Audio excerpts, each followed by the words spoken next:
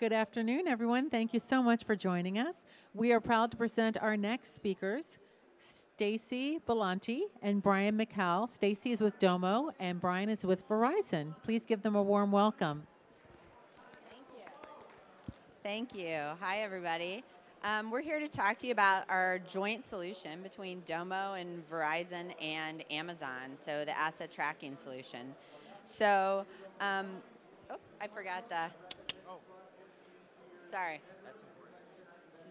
So, um, you know, the term IoT data has been around for, for over 20 years. Um, and it, but the data has mainly been in the hands of operators, people that own and manage the devices. And, and, and what, what now we have this proliferation of data, right? We have um, you know, the Amazon services and the databases and the way to get the data super fast and the networks to, to bring the data in on.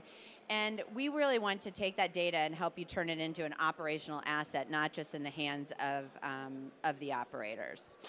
And why is this important?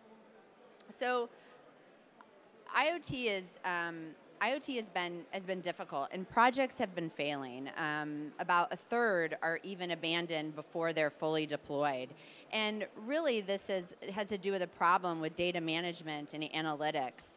And we want to, if you think about it, it's taking it, it's not living up to the promise of connecting the data to people and being able to get it in the hands so that they can they can really do something with it. So it, it, it really just doesn't, we don't believe it needs to be this hard anymore. And so this is this is a typical um, map or diagram of, of an IoT project. We have the um, you know the devices, the connectivity to it, bringing in all of the other data, the KPIs, um, the, the dashboard, the machine learning that, that comes to say when do you need to alert and, and when, when do we need to pay attention to this data. So what we're really doing is trying to trying to take all this and make it make it a heck of a lot easier and make it make it operational for you. Oh, you thank you, Stacy. Oh, thank you.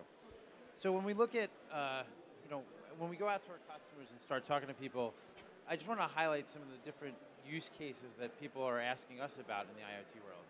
So I kind of look at three major use cases. Asset tracking, so tracking, you can't hear me now? Oh, oh there you go. Got to eat that microphone. All right, cool. Um, so we look at three major use cases. Um, asset management, which is tracking of high dollar assets or mission critical assets. I see condition-based monitoring, so that's using um, sensors to measure environmental um, ambient environment, uh, like temperature, humidity, vibration, right, to predict, you know, obviously uh, machines that might need uh, maintenance before they have problems, predictive quality, and then in the insurance space, right? Third is kind of a combination of the two, which is cold chain.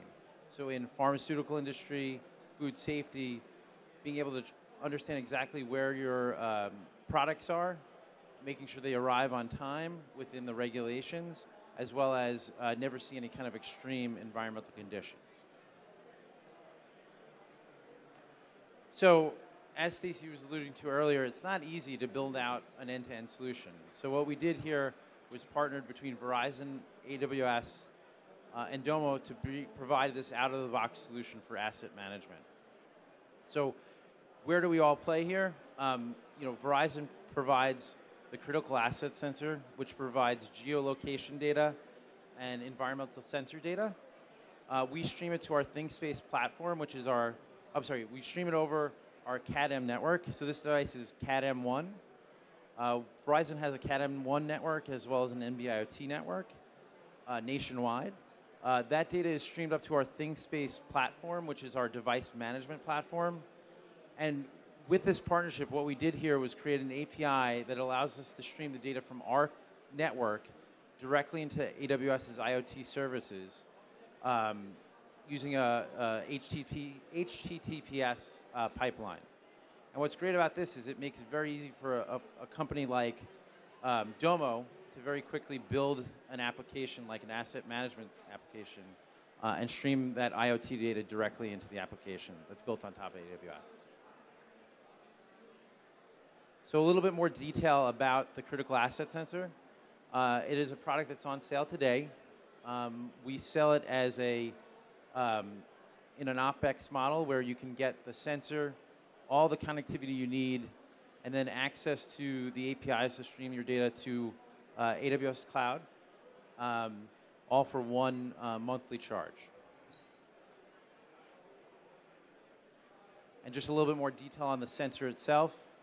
Packed full of uh, uh sensors here. So we have temperature, pressure, humidity, a light sensor, um, and then we have a gyroscope which provides tilt, and then an accelerometer which gives you shock, vibration, uh, and then we have GPS.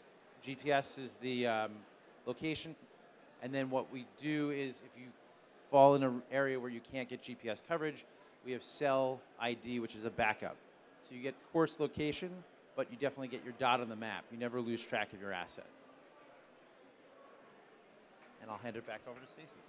So yeah, so so going back to the data, right? So and, and getting the data into the hands of, of people that can actually use it. So these IoT projects that are failing um, and, and not not kind of living up to the promise is is is thinking about, you know, geez, I just forgot what I was gonna say. Sorry. So getting the Domo has more connectors than any other company. So over a thousand um, pre-built connectors, more IoT connectors than anybody. And in addition to getting the data and combining the data together, we have the ability to write back and to, to push data out to devices. So if you think about a scenario where maybe a machine is overheating and you get an alert that it's overheating, the ability to, be, to act on that and to, to write back to maybe slow the machine down or stop the machine. So, so going back to the problems that that in, in the IoT projects that are failing is the data is not getting in the hands of people that can interact with it. Maybe you have a report, maybe you have a dashboard, but is it, is, is it being delivered in a way that you can interact with it in a meaningful way? There we go. So uh, a real world example. So we had a, a client that that um, had thousands of leased trailers, and so knowing where they all were, being able to find them, being able to, you know, see, you know, which ones from the lease that were coming up on the lease, and being able to quickly track them. So really being able to manage this fleet and use that data in a in a meaningful way. So so so we set out to solve this problem and with Verizon. And so in doing that, you know, you think about combining the data from the device in your mobile environment, but then combining it with other data. So not only can I can I find the trucks and see see where they all are on my lot, but I know what's in them. I know the dollar value. I know the date of when they're supposed to to get places. I know the weather that could be overlaid to to tell me, you know, why something might be delayed or if something's going to be delayed so I can provide better customer service on the front end as well. So combining the data as well as um, the device data. So, and again, going back to, to really being able to use the data, and the difference is, you know, Domo can do the graphs and charts. A lot of a lot of people can do that, but we have custom UI and custom apps that we can build that really, really help you use the, the data in a meaningful way. So, and, and what that really means is different personas. Different personas have to see that data and, and want to see that data in different ways. So, you know, maybe, you know, uh, in this instance, the site manager has to be able to pinpoint certain trucks, certain locations, and be able to, you know, enter the number for it and go directly to it Whereas the operations manager wants to see all of them, wants to see all thousands of them, where they are, and all of the status on that at, at the same time. So it's really being able to provide these different levels of visualizations to really kind of bring that IoT data to life.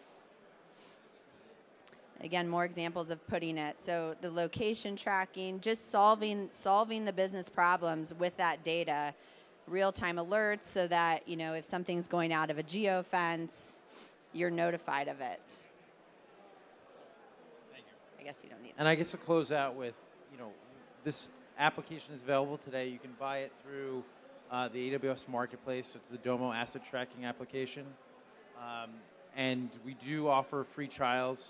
So if you have a use case, um, you know, follow through through the AWS Marketplace, and we can definitely work on uh, providing a free pilot.